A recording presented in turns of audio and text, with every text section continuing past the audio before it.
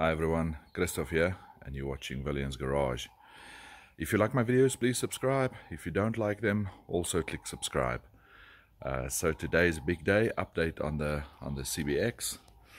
Um, I found I found someone that can work on it, um, a retired oak. Uh, his name is Greg, so I'm on my way to see him. Uh, I'm gonna take the bike to him and uh, yeah, he's gonna do a few things on it for me.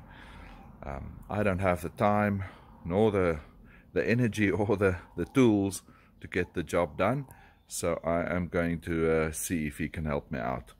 Um, it's quite a drive. So let's see if we can get there. I hope I can I can film there as well. So let's warm up the six and see what's what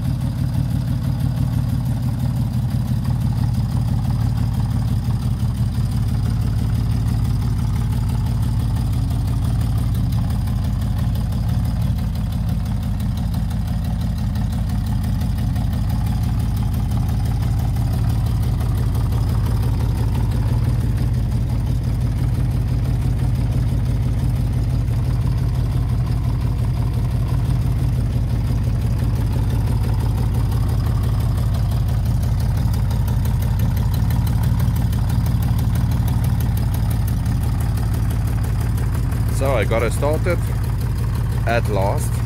so let's see if I can get it to Greg. Okay, chat to you later.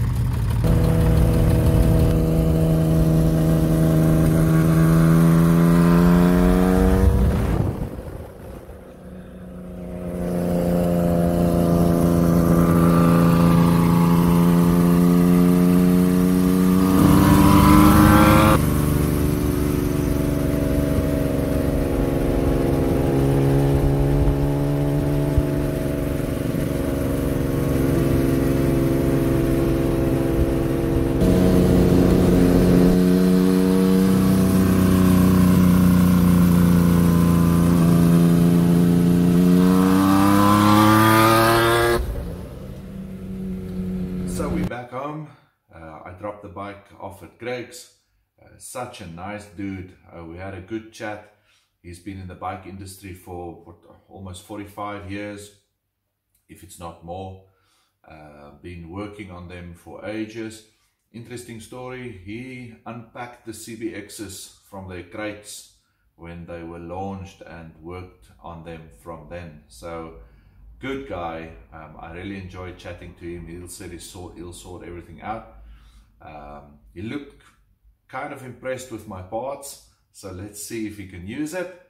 And uh, I can't wait to get the bike back. So um, he said he's a little bit busy. Um, in fact, one of the big bike shops here in town still makes use of his service, so he needs to go out to help them if they can't get stuff fixed.